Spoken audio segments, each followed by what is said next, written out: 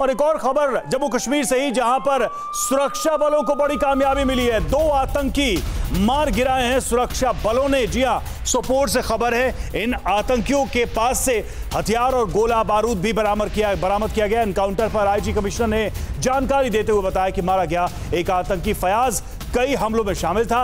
North Kashmir में हुए हिंसा में भूमिका थी उसकी। वहीं इलाके में सुरक्षा बलों का सर्च ऑपरेशन जारी है।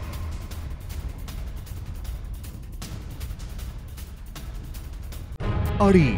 सोमवार से शुक्रवार शाम छह बजे सिर्फ़ टीवी नाइन भारतवर्ष पर।